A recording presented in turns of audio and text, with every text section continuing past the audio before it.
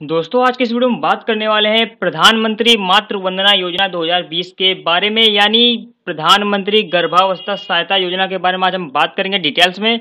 दोस्तों, इस योजना में जो पहली बार कोई महिला गर्भावस्था धारण करती है तो उसके लिए सरकार अपनी ओर से छः हज़ार रुपये दे रही है ताकि वो अच्छे से अपने बच्चे का इलाज करा सके।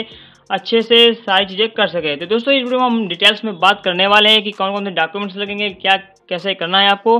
सारी डिटेल दोस्तों, इस वीडियो में देने वाले हैं। तो दोस्तों, वीडियो को एंड तक ज़रूर देखेगा और दोस्तों, वीडियो शुरू करने से पहले आप लोगों से छोटी सी रिक्वेस्ट है कि हमारे चैनल नेट गुरु को सब्सक्राइब कर लीजिएगा।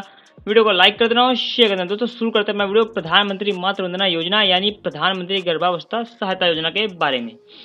दोस्तों, गर्भावस्थी महिला को छह हज़ार रुपये का लाभ हमारे देश की सभी गर्भवती महिलाओं को मिल रहा है। जो भी गर्भावस्था गर्भवती महिला इस योजना में आवेदन करना के इच्छुक है, वो आंगनबाड़ी हो गया या फिर स्वास्थ्य का जो केंद्र है या हॉस्पिटल है, वहाँ से जाकर आप लोग इसका आवेदन कर सकते हैं दोस्तों। इसमें दोस्तों आपको तीन फॉर्म भरने पड़ते हैं। ये दोस्तों फॉर्म है जो ऑनलाइन नहीं है, ये केवल ऑफलाइन फॉर्म है।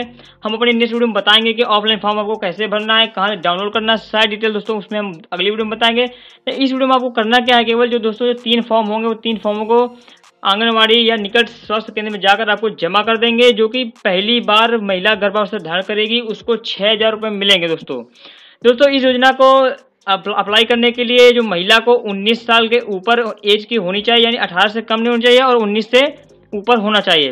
दोस्तों गर्भवती सहायता योजना दो हज़ार बीस के अंतर्गत गर्भवती महिलाओं को मिलने वाली राशि धनराशि छह हज़ार रुपये है, जो कि तीन किस्तों में आपको दिया जाएगा दोस्तों।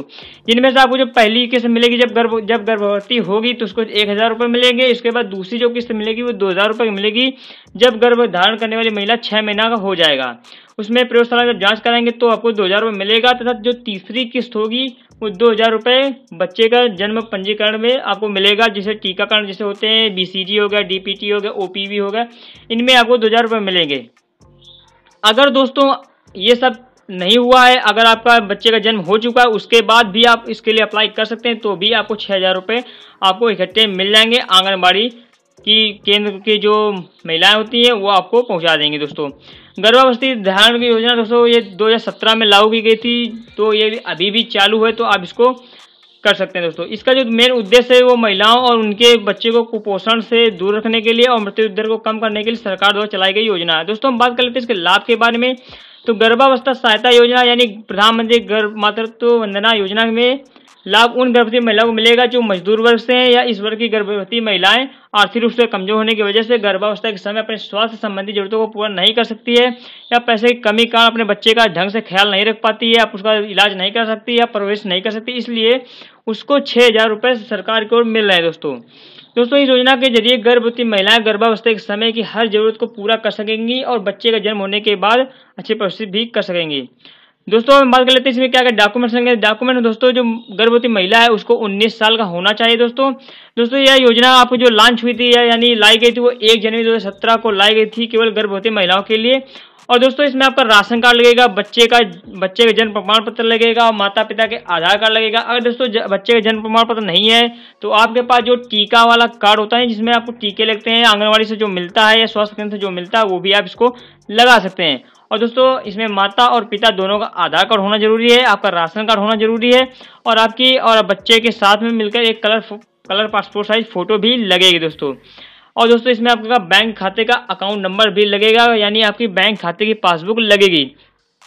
जब ये सारे डॉक्यूमेंट्स आप अपने फॉर्म में लेकर पंचिंग कर देंगे पंचिंग करने के बाद दोस्तों आपको आंगनवाड़ी या अपने निकट स्वास्थ्य केंद्र में आपको जमा कर देना होगा। इसके बाद लगभग पंद्रह से एक महीने के बीच में आपको ये छः हज़ार रुपये आपके अकाउंट में ट्रांसफ़र कर दिए जाते हैं दोस्तों।